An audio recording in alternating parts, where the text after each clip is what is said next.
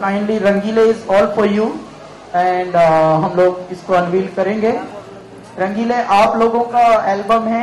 कारण क्या है कि हर गाना कहीं ना कहीं किसी ना किसी से कनेक्ट करता है। किसी की ज़िंदगी से जी सिर्फ़ ऐसे सुनने के लिए, मनोरंजन के लिए नहीं बनाया हमने। ऐसा नहीं है, तेरी आँख बहुत अच्छी है, कान बहुत अच्छे हैं।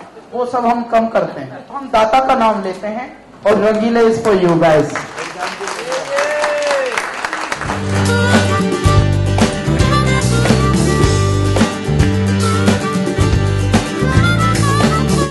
क्या जाने जो गाना ये हमने एक बात हृदय में आई। दस साल पहले जब हम आए मुंबई में तो कैसा था मुंबई? कैसे थे हम? और आज दुनिया को ऑब्ज़र्व करते हैं तो कैसी हो गई है दुनिया? हर को हर किसी से शिकायत है। मोहब्बत भी है, लेकिन शिकायत भी है। और शिकायत के बावजूद भी प्यार भी है। तो बहुत ही किंकर्तव्य विमूढ़ वाली सिचुएशन है। मतलब बहुत सारा समझ नहीं आता कॉम्प्लिकेशंस भी हैं कंफ्यूजन भी है।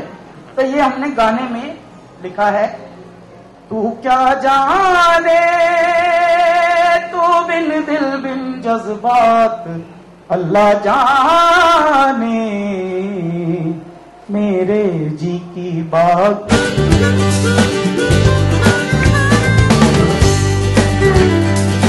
मोहब्बत का गेम ही ऐसा है ज़िंदगी में। बख्शता किसी को है नहीं।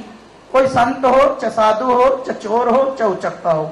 मोहब्बत ऐसी चीज़ है, बख्शती किसी को है नहीं। मतलब ये चीनी है, लेकिन जहर से भारी काम कर देती है कभी कभी ऐसा मारती है कि माँ मतलब खुशी, खुशियों से ही मर जाता है आदमी। बावला हो जाता है। मोहब्बत। और इसी पर यह एल्बम आई है, रंगीले। कि आज भी जो लोगों की सोच है कि नॉन फिल्मी म्यूज़िक नहीं बिकता है। वो नहीं है। क्वालिटी है तो बिकता है। ये ग्यारह गाने इस तरह से बने कि ज़्यादातर जब धुन आती है और शब्द आते हैं तो पहले विचार की जो उर्वरा शक्ति वाली ज़मीन होती है, वो तैयार होता है। पहले विचारों का खेत तैयार होता है।